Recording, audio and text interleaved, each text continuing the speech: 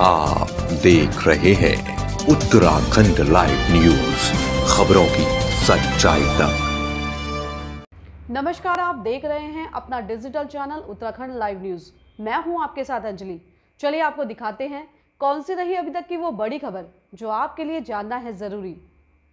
आज दिनांक 5 जून को विश्व पर्यावरण दिवस पर धर्मपुर विधानसभा क्षेत्र में बूथ स्तर पर कर्नल अजय कोठियाल द्वारा धर्मपुर विधानसभा में स्थित माँ चंद्रबदनी मंदिर में वृक्षारोपण किया गया। वहीं पौधों का वितरण कर सभी को वृक्षारोपण हेतु आग्रह किया गया। वहीं धर्मपुर विधानसभा के प्रदेश प्रवक्ता योगेंद्र सिंह चौहान ने बताया कि हमारा उद्देश्य केवल पेड़ लगाना ही नहीं है, बल्कि पालन पोषण कर लोगों तक फल पहुंचाना है।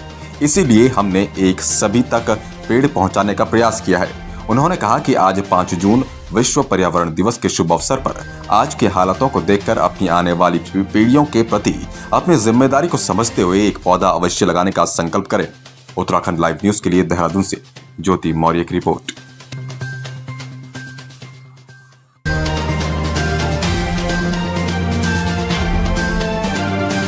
देखिए, आज धर्मपुर विधानसभा के अंतर्गत हमारे पार्टी के जो वरिष्ठ नेता हैं, कर्नल अजय कोटियाल जी उनके द्वारा जो चंदमनी मंदिर है, शीतला माता मंदिर का, वहाँ पर वृक्षारोपण कर इस प्रोग्राम को हमने जो है सुचारू रूप से स्टार्ट किया। इसके पश्चात वहाँ पर जो हमारी निगम पार्षद है दिल्ली में और प्रदेश, दिल्ली में क्या प्रदेश की पैनलिस्ट भी हैं गीता रावत दीदी, वो भी आज हमारे बीच में मौजूद रही हैं। सर्वप्रथम कर्नल साहब के द्वारा जो चंदमनी हमारा मंदिर है, उसकी प्रांगण के अंदर वृक्षारोपण किया गया।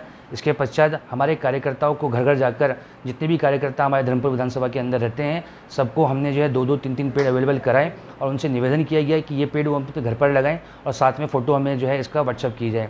इसका घर पर लगाने का मुख्य कारण ये रहा है कि हम देखते हैं कि जितने भी पेड़ सड़क पे लगाए जाते हैं या कोई भी किसी ग्राउंड में लगाए जाते हैं तो मोस्टली पेड़ों का जो है, जो केयर होती है वो नहीं हो पाती है। इसलिए हमने एक आइडिया निकाला कि क्यों ना हम जो है फलदार पेड़ बांटें। हमने जितने भी पेड़ बांटे हैं, वो फलदार पेड़ बांटे हैं, जिसमें आम था लीची थी, अमरूद था, जामुन था और आंवला था। इन पेड़ों को हमने अपने कार्यकर्ताओं को दिए और उनके घरों पर जाकर ये पेड़ लगाए गए हैं। और अब निश्चित तौर पर जब किसी घर के अंदर कोई पौधा लगाया जाता है तो उसकी देखरेख भी एक बच्चे की तरह की जाती है। और हमारी एक ये मुहिम थी कि जिस जैसे जैसे ये पेड़ बड़े होंगे, ये पर्यावरण को तो शुद्ध करेंगे ही करेंगे साथ ही जो हमारे कार्यकर्ता जिन इन पेड़ों का ख्याल रखेंगे, भविष्य में इनके जो फल होते हैं, वो भी उन्हें खाने को मिलेंगे। अभी के लिए बस इतना ही काफ़ी। बने रहिए उत्तराखंड लाइव न्यूज़ पर।